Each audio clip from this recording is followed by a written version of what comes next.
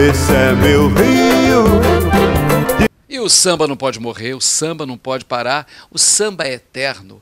João Carlos, aqui, nosso amigo João Carlos Branco, que é um homem que batalha por esse estilo de música que não pode parar mesmo. Não é isso, João Carlos? Exatamente. O samba não pode parar, como diz Nelson Sargento. Nós eh, estaremos relembrando grandes sambas agora na próxima semana, Dia dos Namorados, lá no Cariocando, lembrando Cartola, Nelson Cavaquinho, Mestre Monarco, Noca da Portela, Silas de Oliveira, que está completando 100 anos, se vivo fosse.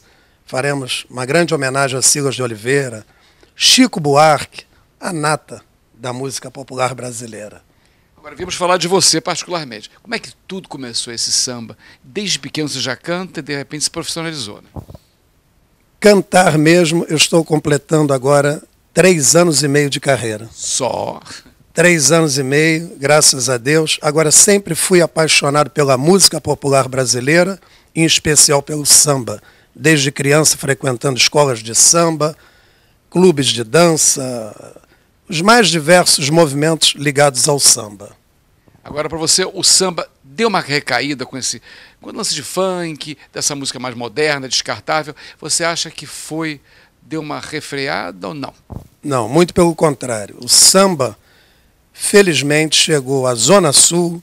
O samba, antigamente, há 20 anos atrás, ainda era muito mal visto, infelizmente. E samba é cultura. E o samba atingiu as camadas de uma classe mais alta, do Leblon, de Ipanema, da Barra da Tijuca, tanto que as rodas de samba que acontecem hoje na Barra são sucesso. Quando temos aqui na Zona Sul, sucesso absoluto.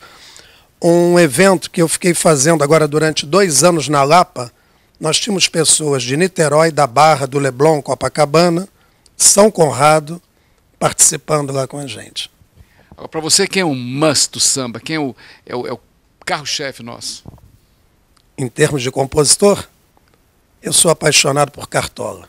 Cartola, para mim, é insuperável. E intérprete, pode ser mulher ou homem?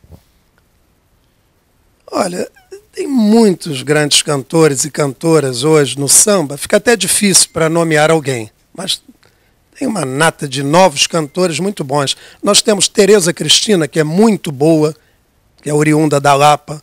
Moisés Marques, que é muito bom. O Ô, Fernando, fica difícil para citar mais nomes, entendeu? Eu não quero ser injusto. Você gosta dessa música mais moderna? Nós to tocamos no assunto. Todos os cantores que vêm aqui, eu, eu gosto de perguntar. O que, que você acha desse modernismo? Isso é música? É uma deturpação da música? Você é a favor desse estilo de música? Não, eu não sou contra. Agora, a minha preferência é o samba autêntico, samba de raiz. Monarco, como eu citei anteriormente, Nelson Cavaquinho, Silas de Oliveira. Bete Carvalho. Bete Carvalho, o Arlindo Cruz. São grandes compositores e cantores maravilhosos. E escola de samba? Você, você é ligado a alguma? Ligado diretamente, não. O meu coração bate um pouquinho mais forte pela Portela. Agora, eu sou apaixonado por todas. Eu frequento Mangueira, Portela, Beija-Flor, já fui algumas vezes. E a Estácio de Sá, estive recentemente lá numa feijoada maravilhosa. Então sou um apaixonado pelo samba e por escolas de samba. O samba composto na escola de samba, você acha que, que é o samba enredo, né? Ele difere muito do samba, de, do estilo que você canta? Sim. Se tratando de samba enredo, a coisa anda meio complicada, porque o que acontece de um pouco tempo para cá são os chamados sambas de escritório.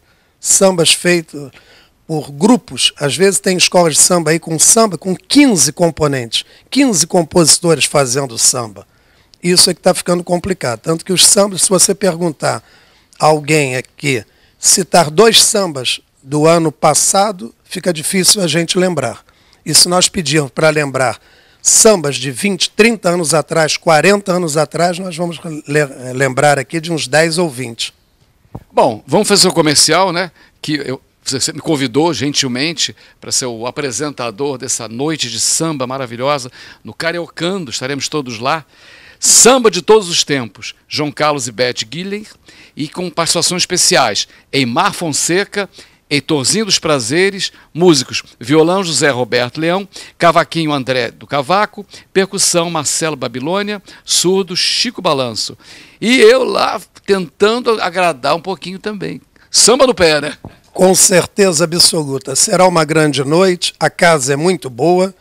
Nós, a Beth Ginley, que fará o show junto comigo, é uma excelente cantora, excelente mesmo, canta pelo Brasil afora.